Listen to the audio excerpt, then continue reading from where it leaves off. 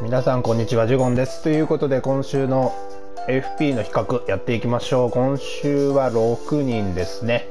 はい。ということで早速やっていきます。えー、今週まずはアザールですね。アザールはえー、過去に、まあ、2回出てます。1回目が9月20日で2回目が5月9日。どちらも、えー、週間ですね。能力はこんな感じです。えまあ、総合値は同じですね。で、フライパスと決定力が、えー、1回目、2回目はそれぞれ高かったんですが、えー、今回は、えー、戻りましたというか、低い方に、ね、なりましたね。で、今回スピードが唯一95という感じになります。1は決定力、2はフライパス、3、今回はスピードが高いものになります。で、え、この選手は、ま、プレースタイルとか、ま、スキルは同じなんですけど逆押し頻度精度が違いますね、えー、1は、えー、両方とも2だったんですが、えー、2と3のアザールは、え頻度が3精度が4になります。はい、ということで、まあ、それを踏まえて、えアザールに順位をつけるとすると、えー、3、2、1の順番ですかね。はい、やはり逆足の精度とか高い方がいいと思うので、まあ、決定力もね捨てがたいんですが、まあ、それよりは自分は逆足の方を取ります。はい。ということで次行きましょう。はい。続いてオーバメヤンですね。オーバメヤンは、えー、過去にご覧のような感じで出ております、えー、今回6回目ですね。はい。能力こんな感じです。はい。総合値などは変わりません。で大場面の特徴で言えばまあ過去のものはヘディングかスタミナどちらかが高かったんですけど今回はキック力が高いものになりました。でヘディングとスタミナは、えー、低いものと同じになってます。はいということで、まあ、新たにキック力が高いオバメが来たという感じになります。はいでこの選手はスキルが違いますね。えー、1と、えー、3から6は、えー、1つねスキルのところ空いてるんですけど2はがついてるために、えー、埋まってるという感じですねなので2はスキルをつけれませんのでまあえー、スキルの自由度的に言うとこちらの方がいいとは思います。まあ、好きなものつけれますしね。はい。ということで、オバメに順位をつけるとするならば、5、6、1、342の順番ですかね。はい、ということで2は、えー、やはりスキルがつけられないのでちょっと順位下がるかなと。あと3と4に関しては、えー、能力全く同じなので、まあ、どちらでもいいとは思います。はい。ということで次へ行きましょう。はい。続いてチェフですね、えチェフも過去に2回出てます。1回目が9月27日の週間。で2回目が5月23日のクラブセレクションです、え、能力こんな感じです。はい、ということで今回唯一総合値が90までね、いきますね。で、えー、オフェンスセンスからジャンプまで、えー、こちらは前回来たチェフと同じ数字になってます。あと、スタミナもですね。で、えー、ゴールキーパーの能力ですけど、えー、前回86までいったクリアリング、あとコラプシングもね、前回99まで行きましたが、そちらは同じです。で、今回唯一リフレクティングが、えー、99カンストしましたね。はい、ということで今回は、えー、クリアリング以外は全てカンストという状態になります。はい、ということでこちらの選手もスキルは違いますね。えー、1回目は習慣で来たということでキャプテンシーがついています。えー、2と3は、えー、そちらがありませんという感じです。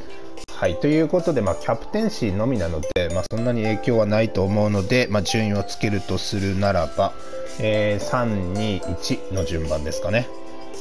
はい、ということで続いていきましょう。続いてベン・エデルですね。えベン・エデルは過去に3回出ております。え、ご覧のような感じです。能力はこんな感じです。えー、今回も総合値は91のものになります。はい、能力見るとオフェンスセンスは95、こちらは前回と同じですね。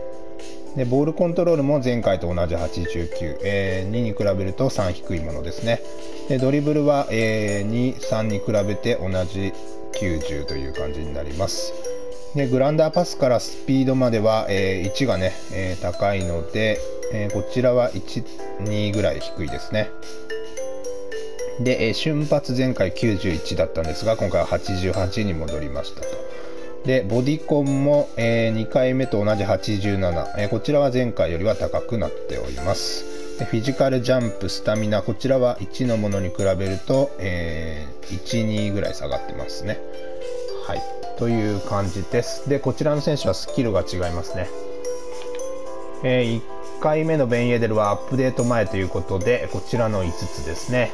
で、えー、2以降になるとアップデート後ということでスキルが、えー、3つ増えます、え、増えたのはダブルタッチとドロップライジングシュートですかねはいということで、まあ、スキルの違いがありますねはいということでそれ踏まえて順位つけるとするならば、えー、3241の順番ですかねはいということで次の選手いきましょう続いてジエリニツキですね。ジエリニツキは過去に2回出てます。えー、1回目11月15日と2回目3月7日、えー、どちらもクラブセレクションですね。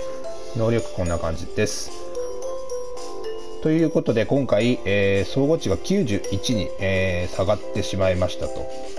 はい、で能力見るとまず上がったものがオフェンスセンスがこちらは、えー、1に比べて3上がって2に比べて4上がってますね。で決定力は、え、3上がってますと。でスピードは、えー、1と同じ90なんですが2よりは3高いですという感じです。で、まあ、下がったものでいうとまずはボールコントロールが12に比べて3下がっていると。でドリブルも2に比べて3下がっています。まあ1と同じです。でグランダーパスも1に比べて3下がっています。まあ2と同じですね、はい、でスピードも、えー、2に比べて2下がっているんですけど、まあ、こちらも1と同じという感じです。はい、ということでこちらの選手は、えー、プレースタイルとか、えー、スキルは変わらないので、えー、能力の違いのみです。ということで順位をつけるとするならば、え1、2、3の順番ですかね。はい、ということで、え次の選手いきましょう。はい、ということで今週ラストは、えー、ジョアン・フェリックスですね。えー、前回来たのが、えー、4月18日の週間です。能力こんな感じですね。え今回総合値が96までいくということで、えに上がっております。はい、で能力見ていきましょう。え上がったものから、えまずオフェンスセンスが5、えボールコントロールドリブルが2ですね。でフライパス決定力、えフライパスが1で決定力2。でプレースキック、カーブ、ヘディング、えー、ディフェンスセンス、ボールダッシュ、これが1ずつ上がってると。はい。で、スピードが5ですね。で、瞬発とボディコンが2上がってカンストしてます。えー、あとは、フィジカルが1のジャンプが3で、スタミナが1上がってます。えー、下がってるものも、えー、若干あって、グランダーパスが1と、あとはキック力が2下がっております。はい、ということで、まあ、能力はね、えー、結構上がってるので、えー、強くなったんですが、こちらの選手はね、スキルが違いますね。はい、ということで、前回は習慣できたということで、えー、4つ多いんですよね。で、今回はこんな感じです。えー、持ってるのが、えー、1は、えー、無回転シュート、アクロバティックシュート、ワンタッチシュート、ワンタッチパスですね。はい、ということで、まあ、結構いいスキルがね、こちらついてたので、もうスキルを取るか能力取るかっていう差だと思います。まあ、今回は、えー、スキル1つつけれるので、えー、まあこちらにあるスキル1つ何かつけて、えー、まあ能力が高いということで、まあ、順位つけるとするならば若干2-1でもいいのかなという感じです。はい、ということで今週の比較は以上ですね。